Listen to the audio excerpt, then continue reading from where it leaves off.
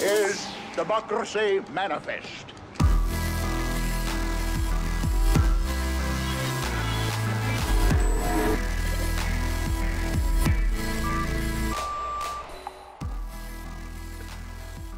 What's the difference between liquid democracy and direct democracy? Yeah, a lot of people confuse this, and it makes perfect sense why they're opposed to liquid democracy when they think that it means direct democracy.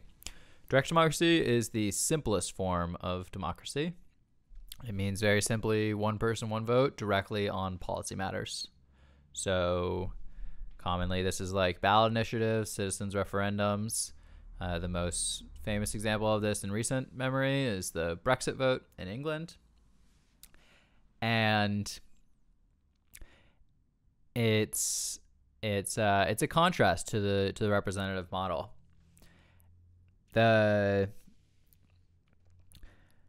the again, it's the simplest method. So liquid democracy or delegative democracy, as it's also called, says yes, it's it's fundamental to make sure everybody has a right to speak for themselves in a democracy, one person, one vote. But it would be a huge loss to get rid of representation. We absolutely want leadership. We want more leadership. The problem is we don't have enough leadership right now. And so rather than trying to get rid of all the representation, the liquid model says that you get to pick your own representative. So, very simply, it's you, each citizen, can weigh in directly for or against or abstain on any policy question, just like what our elected leaders are doing right now.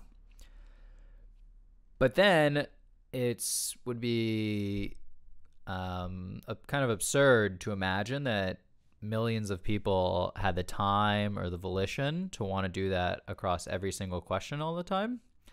And so the way the liquid democratic model works, the concept works, is anytime you don't vote directly on any particular bill or policy question, your voting power gets transferred to your pre chosen personal representatives, your delegates, your proxies.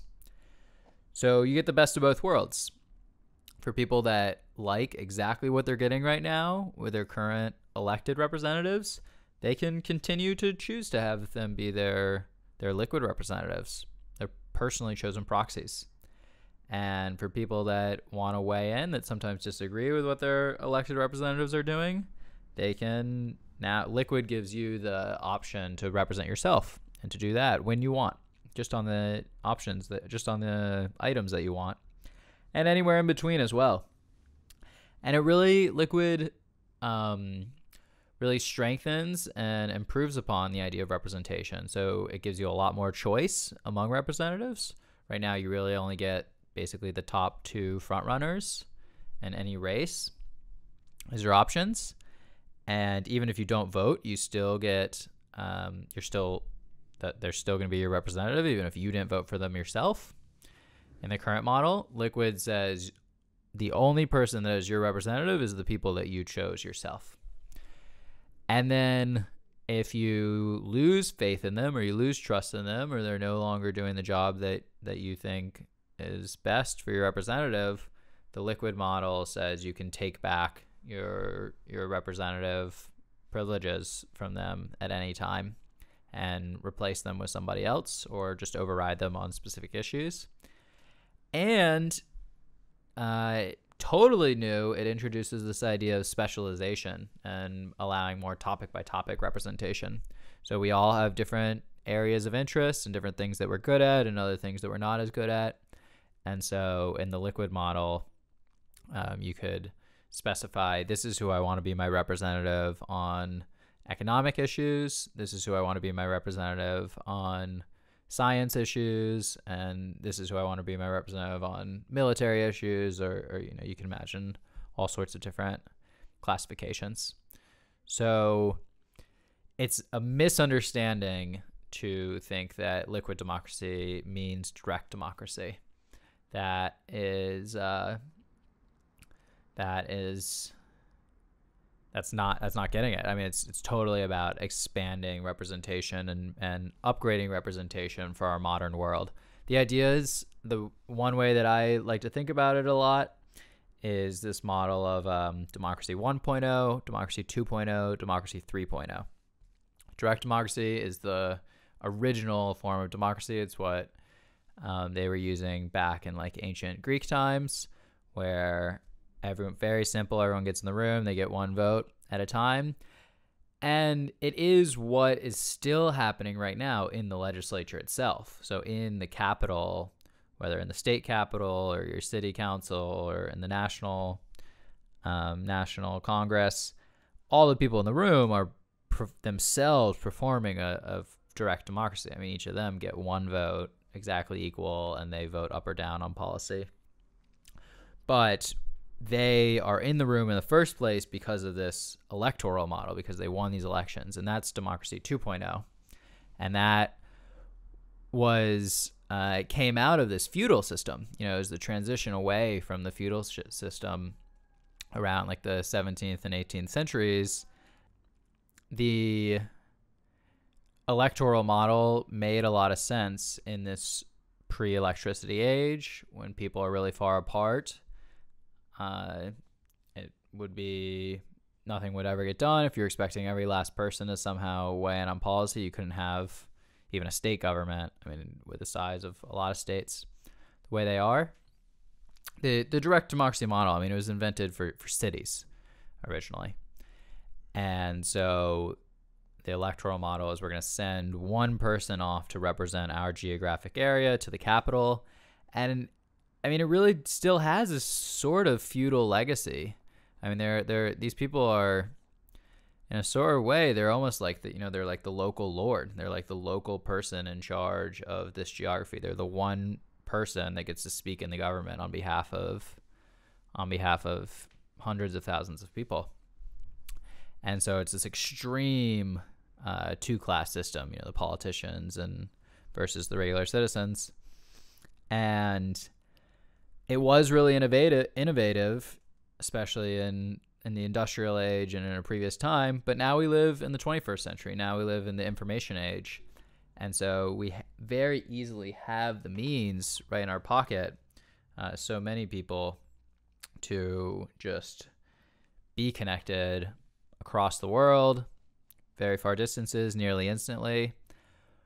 And so technologically we have the means to, to do a direct democracy and there's been talk about that, but it's still not um, practically feasible just because we're all very busy and policy is complicated and important and it's really difficult to um, get so many people to understand so many things at once.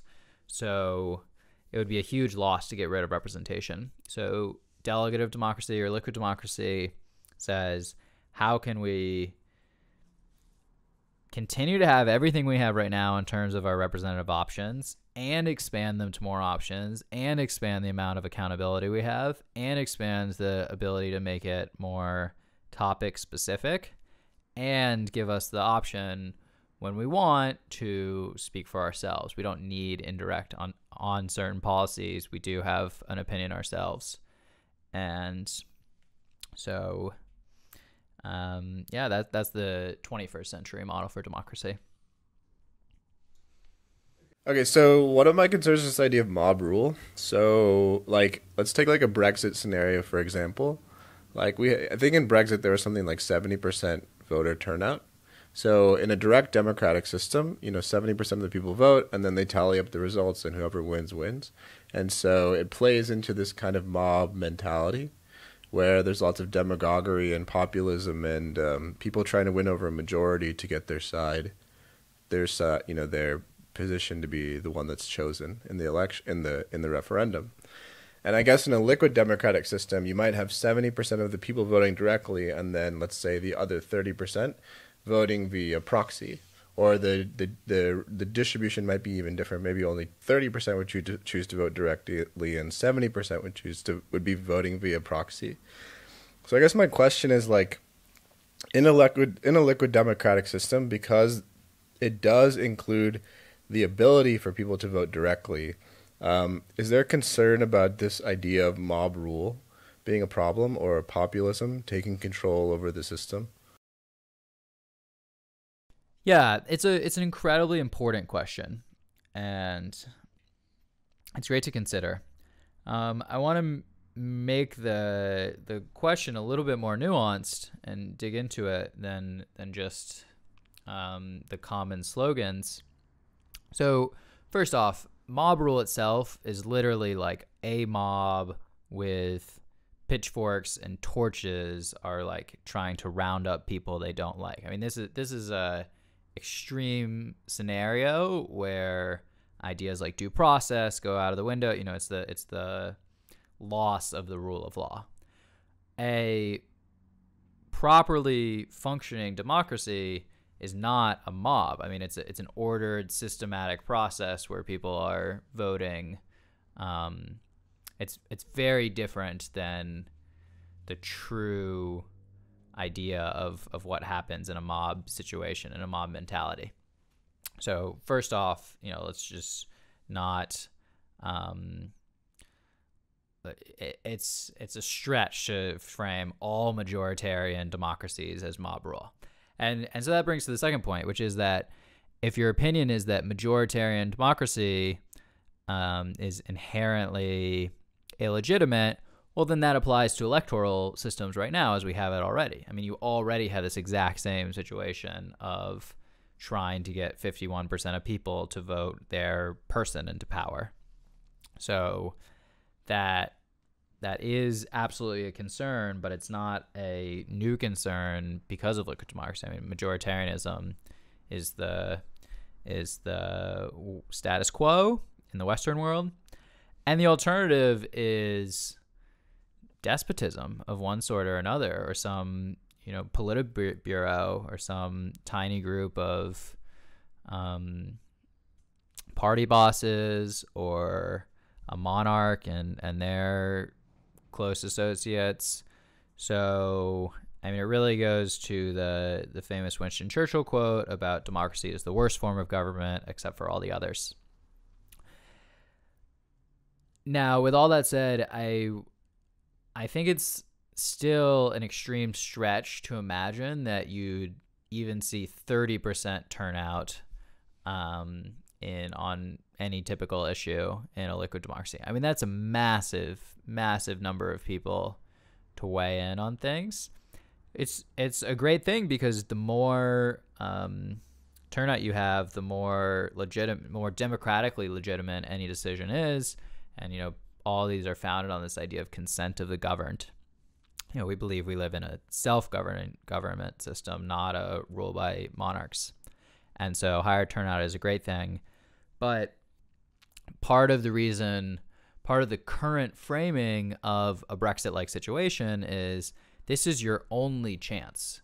You either show up and vote or you don't get counted. In a liquid system, that's not how it works. It's you can show up and vote yourself, or you can be confident that your representatives will get to represent you. And it's not a one day event. I mean, you can see how your vote is being represented. You know, if you want to check in, you can see how your vote is being used, and then you could override it. Um, so, uh, in general, you know, the way typical online platforms work right now, well, the way our government works right now is 500 members of Congress vote on behalf of 300 million people on the hundreds of bills that are being voted on in Congress right now. So it's this extreme million to one dichotomy. Um, city councils are going to be closer representative ratio, but still tens of thousands to one in, in lots of cases. And online, famously, there's this rule about websites about for everyone that writes content, that creates content, there's thousands of readers, which they of referred as lurkers. And so this is an extremely common, um, just like ratio of the number of people that that show up and watch versus the number of people that are actively participating or directly participating. So I think it's relatively safe to assume that you're going to see that be a common dynamic in the same way. And just one more point about Brexit, for example, or other examples of, of what's called populism, of what's referred to as populism, which is a kind of rather murky phrase without a very strong definition. But in Brexit's case itself, a lot of the rhetoric that motivated the leave side, the pro Brexit side, was that we, uh, British people, are being governed by these elected leaders in Brussels who we didn't really vote for.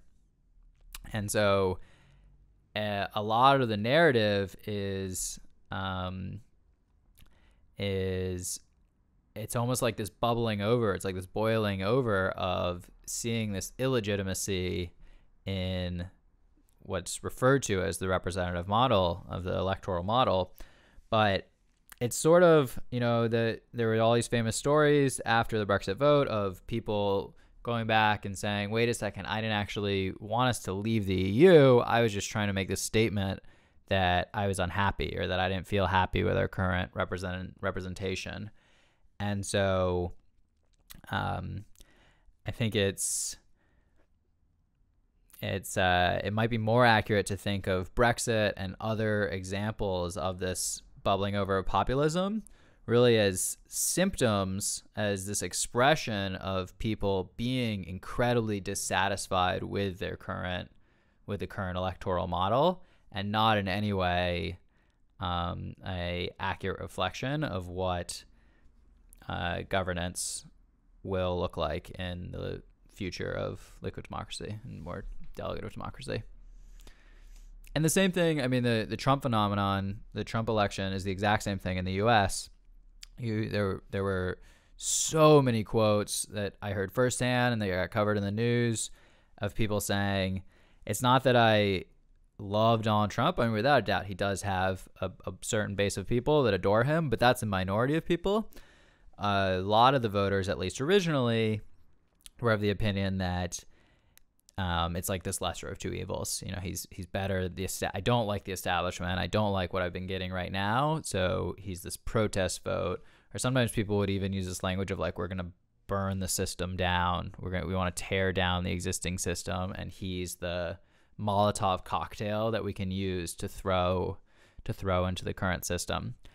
And so it's um it's sort of you know it's both of these votes are this expression of people that are incredibly unhappy with the current system, and this is the best option that's given to them. And so, um, if we could have a more constructive way of rebuilding representation rather than a destructive way of let's screw everything up, let's throw a Molotov cocktail, and let's tear everything down, that would be better for everyone. Why is this like the number one concern? Because there's a huge amount of media, anti-democratic media. What do you mean by that? Um, Fox News wants to scare people all the time into thinking democracy is evil. Rupert Murdoch. Uh, there are a lot of powerful, current people in power um, want to fearmonger about what would happen if uh, the vast majority of people that um, are out there participated in the political participated process. in the yeah in the political process. I mean, every media organization is owned by a, bil- a different billionaire. Hmm. So it's you're saying it's in their interest to have people not civic be civically civically engaged. Mm-hmm. Well, they they want civic engagement in the extremely narrow framing of go vote for the Democratic Party candidate or go vote for the Republican Party candidate. Which is those candidates themselves are already, in a lot of cases, um, agents of the status quo. What about the concern? The it's kind of a related concern to this topic, which is that you know even though our elected officials can be very corrupt and sometimes not very well informed, they're still generally well educated. They're part of this elite, and so they tend to make better decisions than your average, you know, poorly educated American might make, because they just have a better understanding of politics and sort of worldly matters and economics and stuff like that. Do you think it's a fair point? Like, does Nancy Pelosi know more about politics and economics and healthcare than your average Joe? Of course. And- I mean, she's been involved in politics for 50 years. So is it dangerous to be giving your average Joe the power to vote over her? Well, Nancy Pelosi will still have an outsized influence. I mean, without a doubt, she'll still get lots of people to proxy to her. Lots of people do appreciate her. I mean, she's influential for a reason. And I mean, the point is that just because somebody has the option to vote differently, I mean, it's a it's a good thing if it then um, necessitates Nancy Pelosi and other people to actually persuade these voters for why these things are in their interest. The idea of I know what's best for you, you don't even get a say. You know, sh- you don't even get to have a. Con- it's not even a dialogue. It's just a monologue. It's just we're telling you what's best for you. That's not a healthy way to run a democratic state. That's a healthy way to run a a police state. I mean, a, a despotic state. But um, if you want to have any legitimacy of self government and consent of the governed, you have to involve the governed in the process. And so, yeah, I, I would not take the position. Some people take the position of every last politician is inherently morally bankrupt or an idiot or out of touch or some you know some critique or another. And i think that's what populism means just this automatic distrust of people in power simply because they're people in power of, of elites. That's the best definition i can come to understand of what populism means. I definitely don't take that position. I mean i think in a lot of cases people got got to their position because they're good at something um, even if it's just maneuvering within the existing uh, party systems. But the point is, there should be more of a dialogue. I mean, there should be more of a two way conversation. If the majority of people don't agree with the direction you're taking them, that's a problem. I mean, you need to persuade people of why their tax dollars should be used in this way or why this criminal justice law is, is the right thing to do or or what have you. Otherwise, it's not a consent to the governed. It's not self government anymore. Then it's just evolved into the powerful, you know, this uh, feudal system, except in name. Okay. Yeah, there's a there's a related question I want to ask, but we'll come back to it later. I think maybe the last point that might be worth mentioning on this topic, you know, as we're talking about mob rule, tyranny of tyranny of the majority, making informed decisions in in our political system and stuff, is to emphasize the fact that on a, in a liquid democratic platform, there's such a big emphasis on open debate and structured discussion, and so it's not about who screams the loudest or who's the most, you know, rhetorically persuasive demagogue necessarily, but it's more about who makes who makes persuasive arguments and who you can trust with your vote, something along those lines. Like Yeah, I hope I hope so, but that's a little bit more of a downstream. It's a, it's hard to mandate that debates must be civil. Yeah. Um well, well, the question is, will the political discourse be healthier and more productive on Liquid US than it than it is on a you know CNN t- debate stage or uh, in our current political climate? You know. I don't know if we want to even get into this. If it's really related to this original question I was asking, but I don't know. Well, there's more room for digging into specific issues. A CNN debate stage, for the most part, is just about this candidate versus that candidate. And so they're going to try to cover lots and lots of issues. And from the voters' point of view, like they might really like one of the candidates on this set of issues, but strongly disagree with them on the other issue. But the current electoral model doesn't allow for that expressiveness. Maybe we can put it this way: is that so? Okay, I think the fear is that you give every individual the right to vote, and they're really stupid, and so they're going to make stupid voting decisions. Whereas there's whereas like in the current system we have, yeah, sometimes their leaders are corrupt or whatever, but they're going to make generally smarter decisions than uneducated, uninformed people. And maybe one of the counter arguments is, to this is that if we have this liquid US platform, you know, every time a bill comes up, uh, not only do you have as you know as much time as you want to think about it and do research on and reflect on what the bill is saying, but all of the text and the summary is right in front of you, and you can see all of the different arguments for and against it. And so the platform is, itself is going to help citizens make more informed decisions in this dem- democratic system, as opposed to having to go, let's say, in a referendum to a booth and just reading like a one paragraph kind of weak summary that's written by God knows who, and you can explain how that process works of the things getting written, um, and then having to vote based on that, or having to vote for a candidate that you don't know anything about just based on the letter next to their name. And so I guess the point I'm trying to make is like, hopefully the platform we're building, even though it gives each citizen like the power to vote by themselves, um, we help them make more informed decisions by the way we design the platform. Absolutely. It's absolutely an aspirational goal. We it's it's key to help people understand the policy and understand what they're voting on and one piece of that is like you said just having the actual policy text available right there. I think there's a lot that could be done with um, like annotating policy text and in more sophisticated ways so that you can focus on particular areas and really break down what that means. And so um, allowing people to participate in the, the democratic process in this way more um, ought to be in itself an educational endeavor. In the same, I mean, there's a uh, there's a big parallel here to the educational component that's been a result of the open source movement and and GitHub, for example.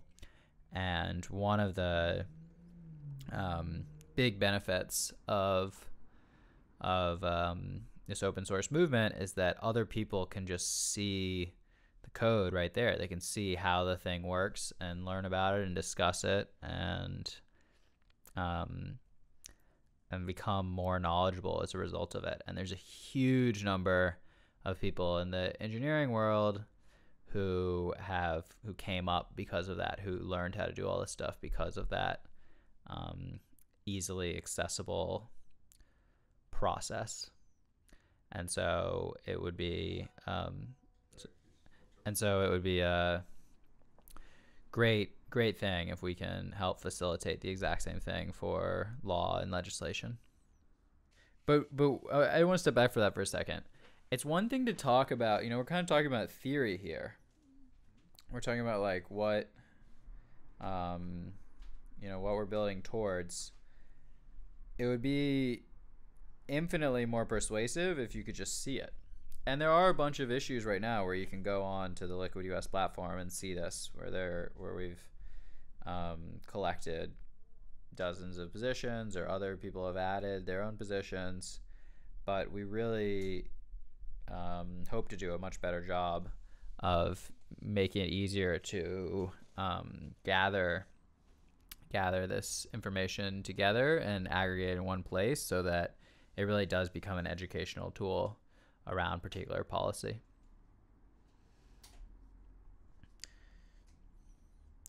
So we have our aspiration and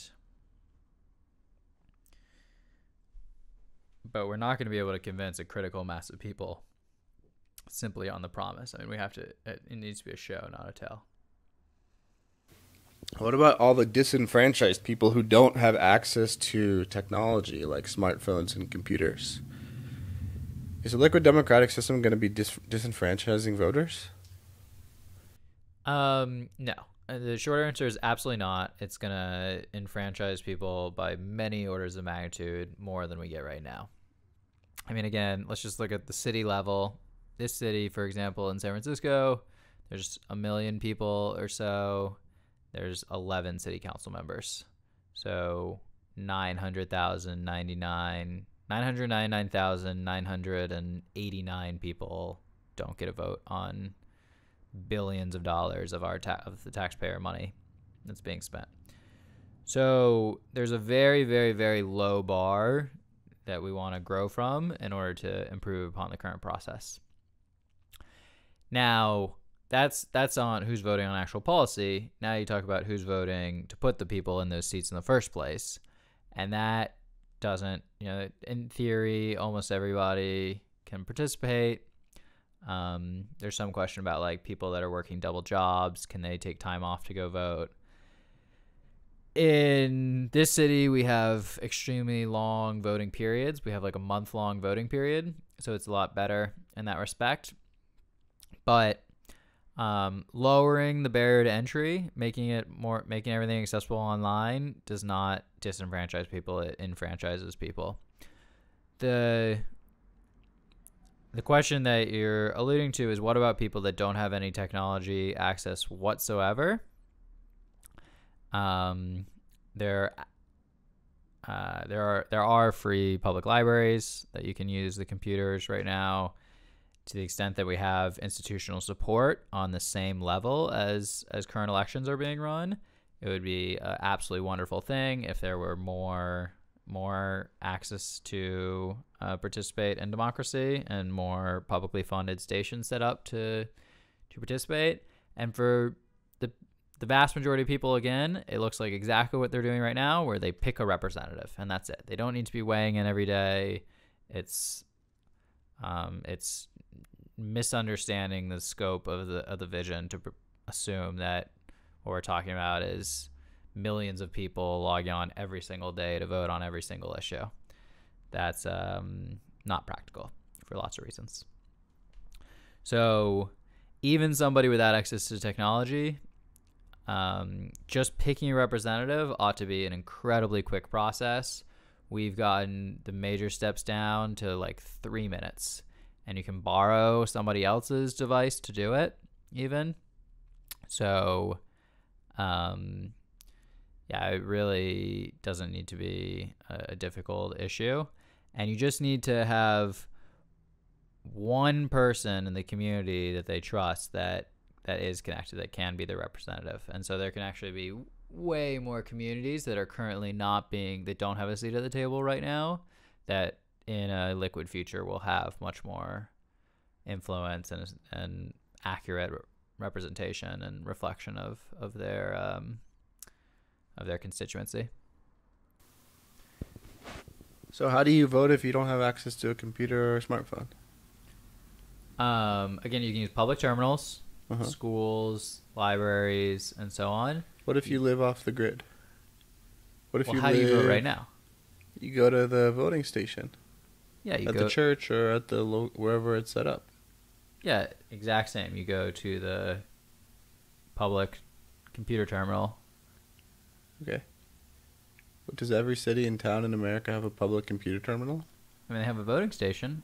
If You right have now a- they have a voting station for Mhm. the electoral democracy, it doesn't need to be that much more expensive to convert that to a voting station for a liquid democracy. It could be cheaper, couldn't it?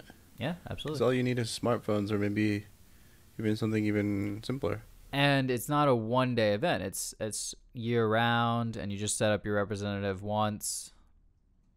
Um, you don't need huge number of volunteers to actually run the elections and count all the ballots and everything. I mean, the huge amount of the infrastructure is automated by computers and inspectables, and so more secure as well.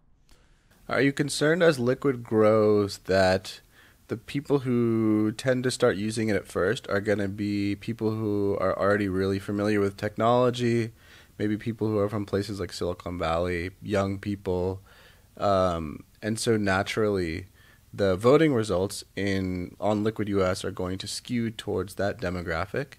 Um, is that a problem? Because that could that give misleading information to existing representatives, or that could because that could that lead to more serious issues down the line if we have a fully liquid democratic system. And generally speaking, the people who just tend to be more familiar with apps and technology are the ones that tend to use the app more. Um. Yes and no. I mean, it's, it's a phenomenon, but it's not a. It's the thing is that as far as democracy goes, digital people, Silicon Valley people are not very well organized. I mean, historically, just like far worse political organization than other interest groups you see. Um, so my guess is that you'll have the opposite effect, and and, and actually our early um, user base skew of of people that are doing well organized efforts around policies does not at all skew towards young technocrats. It skews towards existing political organizations around this demographic group or that demographic group. Is it possible to integrate? Well, so like, let's say for older people, for example, who aren't so good at using smartphones or something like that, or just aren't that familiar with technology, would it be possible to integrate the existing offline methods of voting with uh, the online methods of Liquid? So, like, could somebody choose their proxy, say, by sending us um, an, uh, a physical mail, like a letter, and then we register it through the site electronically for them, or something like that? Or do you have any ideas about that? Yeah, yeah. It's um, in theory, it ought to be possible. It's we don't have it set up right now. It's logistically far more expensive just because the mailing infrastructure is a lot more expensive than sending bits over the internet. Um, but in theory, it, it definitely ought to be possible. Um, the hard part is just making sure that um, identities are verified accurately. And so the way the system works right now for vote by mail, you already have to be registered to vote and sign up for vote by mail. Um, and then you receive your ballot in the mail and you mark up your ballot with, with a pen and then you sign it and you send it back or you can drop it off at um, one of the collection places. And the way it's it works is that then there's taxpayer funded staff in the election office who opens it up and reviews who can who looks at your signature and they have your signature on file. When you registered to vote you provide your signature and so they compare does the signature that you signed it match the signature um, before and it's possible that we could set up similar systems. Um, again, there's there's a large number of costs there that we're not really um, as ready to cover yet, and we don't have a database of everyone's signatures to be able to cross reference. And I hate to say it, but even the the signature method itself isn't quite as secure as people would like to believe. I mean, if you have access to the signature database, which we, you know, we're private citizens, we'd have to get access to the signature database in order to do it.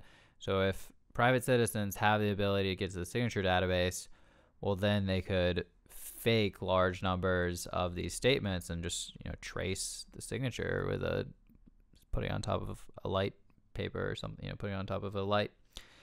So the long and short is I think it ought to be possible. I hope it ought to be possible. Let's try to make it possible. But there are some real questions about logistical feasibility and security that still need to be answered. But in general, our attitude is the more methods, the better, the more channels, the better, the more accessible, the better. So, on top of the website, um, channel. You can also we, we're now been doing a bunch of work on setting up a call-in phone line where you say your name and address over the phone, and that hooks into our same phone verification system that, that's already been built. And then also same thing with text message voting. So very simple methods. Um, call, text, use a website adding by mail would be great. adding in person would be great if we can set up the logistics. Um, to the extent we had partners that could manage the physical space, that would make things a lot easier. But we, as a you know tightly, very tightly resourced private organization, don't in any way have the resources to set up lots of in-person stations around the country or anything like that yet. Right now. Um, in Germany, for example, they have a partnership with the postal service with Deutsche Post. So you can go into any post office and um, they offer a service where you basically sign, you show your driver's license and you sign a thing right there. And then that gets forwarded to the business that works with the post office. And so that's a in person identity verification that works all throughout the country that doesn't require a computer really and it would be amazing if we could do something similar here. I don't I don't know off the top of my head of a similar service. One thing that, it could work actually is notaries. Notary publics um, are required to see an ID and sign off on that you are that person. So it's possible we could do something with that, um, but we don't. We haven't developed it yet. It would be really great to to figure out something because that would be a total game changer if we can work in person all across the country. Okay. Of course, we wanna we wanna be able to support as many people as possible, as many methods as possible. Okay. Last question. Congratulations on your new high paying job at Monolithic Multinational Corporation. Just a few forms to fill out and you'll be earning three figures. First off is the tax form. Next is your health insurance. Then we'll be needing you to proxy your vote to the CEO, and that will be all. I see. So the question is, how do we defend? I got lots more of these if you want to hear them. I like it. But the Should I question keep is, going? oh, can I answer this one? yeah. Is there more to the question? No, I just have lots of these little quotes. Attack. Yeah. Yeah, tax situation. No, it's good. How do you protect against um, coercion? You know, your boss forcing you or the company forcing you to to give up your voting power. Um, yeah, it's a really good question. Again, it's sort of an issue in the existing system right now. You know, your your company could say uh, we want to see how you vote. You know, take a picture with your smartphone when you're in the voting booth, or if you're voting by mail, just show it. You know, show it to us before you sign it. Let us see you sign your vote by mail ballot, and before it gets stuck in the thing, we'll even stick it in there. So it's it's already sort of an issue. Um, it's a crime. I mean, let's just first off be very clear about that. Coercing anybody into voting a particular way is a crime that's punishable by fines and jail time. Uh, I think it's even a felony, but don't quote me on that. But um, uh, to be able to do this at any sort of scale, there'd be a lot of evidence of it, and so, uh, yeah, both the perpetrator, the perpetrator would be criminally liable and responsible for for committing this, and there's like a little bit more fundamental question in there, which is like okay, we recognize that the vote is val- that the vote is valuable. We recognize that it might have some value to the extent that that this company, this hypothetical company, wants to get their get people to give up their vote to them, and so they would do this scheme to get that thing. But that's not a reason for never giving people a vote in the first place. If anything, that's like just saying, "Oh, somebody could try to take this from you."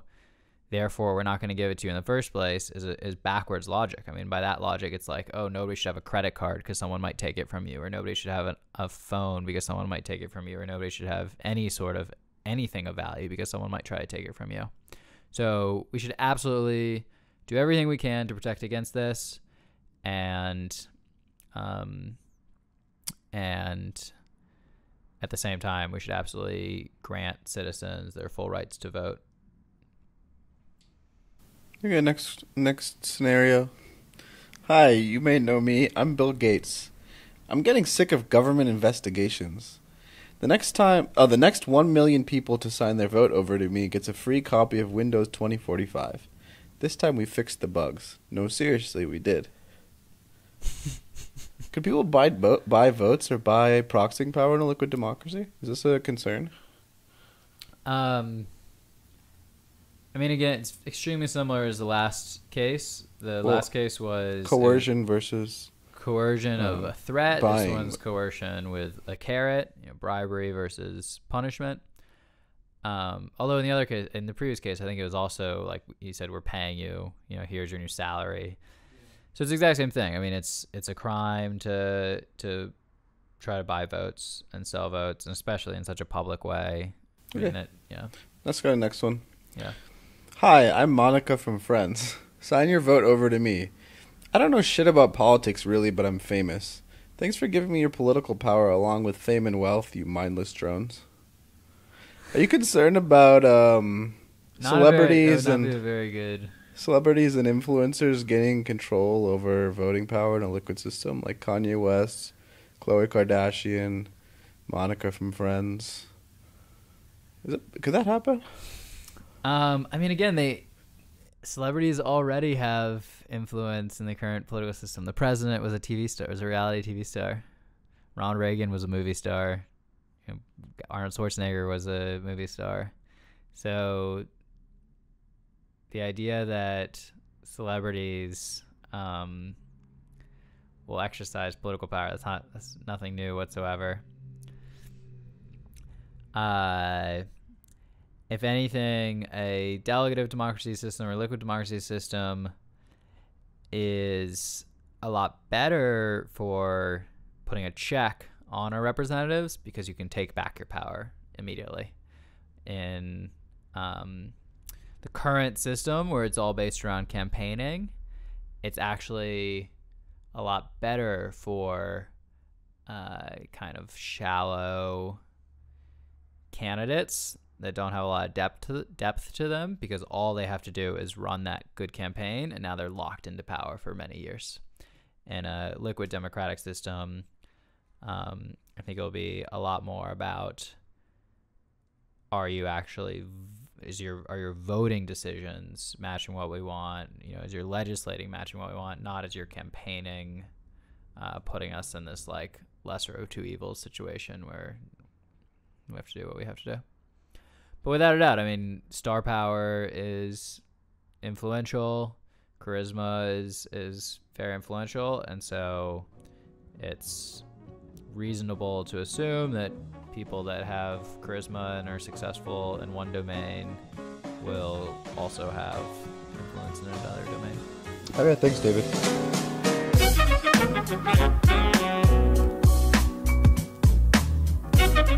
It's Thank you.